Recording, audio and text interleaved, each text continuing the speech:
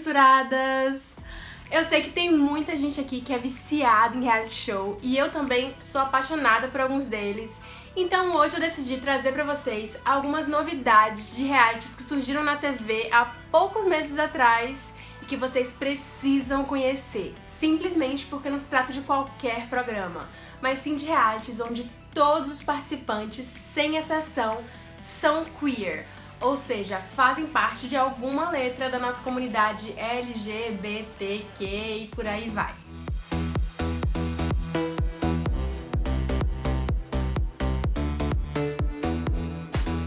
Antes de revelar quais são os realities do dia, eu já vou pedir para vocês deixarem um like nesse vídeo e um comentário aqui embaixo para fortalecer o canal porque quanto mais os censurados crescem, mais eu posso estar trazendo novos conteúdos pra vocês, tá bom? Além disso, se você ainda não é inscrita, clique aqui no botão se inscrever e já ativa o sininho também para receber os três vídeos semanais que eu posto toda semana. Agora eu quero que vocês imaginem uma casa isolada no paradisíaco Havaí, com 16 jovens presos dentro dela, todos queer incluindo bissexuais, pansexuais, trans, drag queens, pessoas não binárias, com gênero fluido, enfim, todo tipo de gente. E todo mundo com a cabeça aberta o suficiente para se relacionar com qualquer um dali.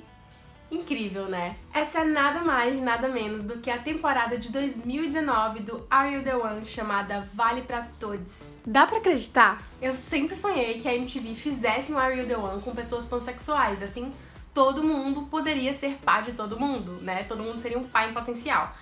Ao invés de ficar sempre aquela mesma história, tantos homens para tantas mulheres, sabe? Só que eu não sabia que eles iam realizar esse meu sonho de consumo tão rápido. E por sinal, eu não fui a única pessoa a ter essa ideia, porque a MTV contou que essa mudança radical aí no programa foi por conta de pedido dos fãs. Então agora, todos os participantes do Are You The One possuem orientação sexual fluida, ou seja, estão abertos a toda forma de amar. Mas o que mudou e o que continua igual no programa? Bom, eles ainda têm que encontrar seu pai ideal e o prêmio ainda é uma quantia alta em dinheiro, no caso, um milhão de dólares. Durante os programas ainda rola prova, passeios com encontros, muita pegação, muita treta, cabine da verdade, cerimônia dos pares. E é cheio de festas, como todo mundo sabe, né? Porém, Are You The One Vale para Todos trouxe algumas novidades bem interessantes. Por exemplo, por conta de serem mais possibilidades de pessoas com quem você pode se relacionar, ao invés de 10 pares ideais, eles têm que formar 8. Além disso, os encontros não são mais exclusivamente com pares. Rola uma espécie de trisal ali, porque é, o vencedor da prova muitas vezes pode escolher dois possíveis pares ideais para irem ao encontro com ele todo mundo junto ao mesmo tempo. Outra inovação é a presença de um especialista em relacionamentos que vai na casa toda semana para tentar dar uma ajuda ali aos solteiros, né? Já que eles tiveram tantos problemas na vida até hoje para encontrar o seu pai ideal. A oitava temporada do show de namoro estadunidense possui 12 episódios de pouco mais de 40 minutos cada e pode ser assistida tanto através do site da, da MTV, caso você tenha é, algum pacote determinado da Oi, ou da Claro, ou da Sky, ou então você pode assistir também pela sua TV no NetNow, que no caso é por onde eu tô assistindo, já que eu assino o Net. O reality com pessoas sexualmente fluidas trata ainda de temas como saída do armário, identidade sexual e de gênero, e a dificuldade de encontrar alguém para se relacionar sendo queer. E aí, curtiu?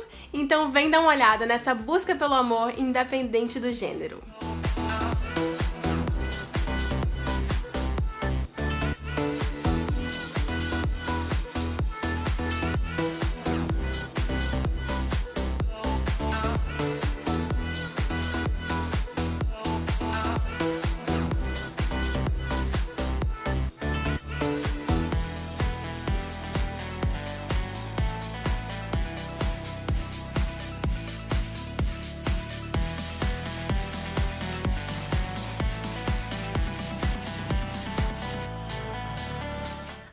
Próxima dica também é uma versão diferente de um reality que já existe e faz muito sucesso. Inclusive, é um programa que eu amo, não perco um episódio e já indiquei aqui no canal. Eu tô falando de RuPaul's Drag Race, mas dessa vez da edição do Reino Unido. Pois é, por essa você não esperava, né? Ela teve a sua primeira temporada com oito episódios lançada no final do ano passado. RuPaul viajou até a Inglaterra para encontrar a rainha britânica com mais carisma, singularidade, coragem e talento.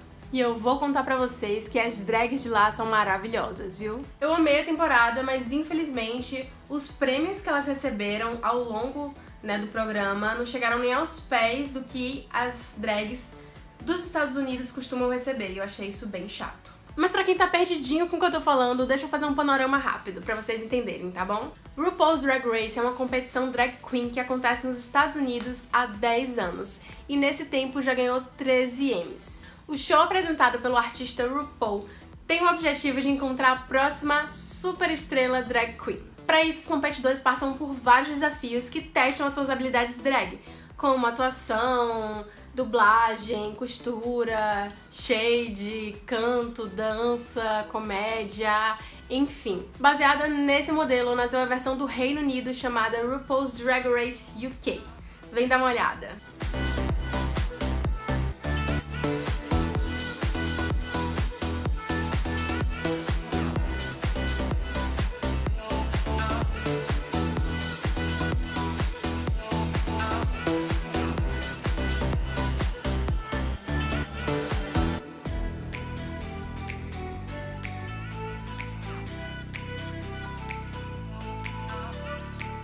Censuradas, essas foram as dicas de hoje, espero que vocês tenham gostado. Se você quiser me acompanhar mais de perto, é só me seguir no Instagram que tá passando aqui na tela e também se inscrever no meu outro canal, que é o Vic Fequine Atriz, e vai aparecer bem aqui no meio assim que esse vídeo acabar. É isso, um beijo e até depois de amanhã.